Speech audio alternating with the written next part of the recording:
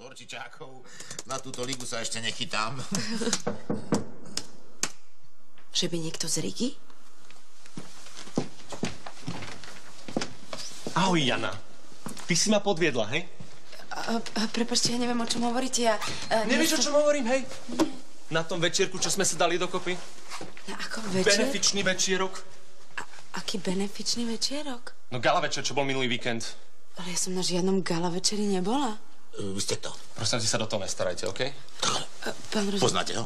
N- Nie, v živote som ho nevidela. Čo boli tie SMS-ky s Tiborom? Aký Tibor a aké SMS-ky? Tibor s tým sixpackom, kozy. Asi pol metra, takto.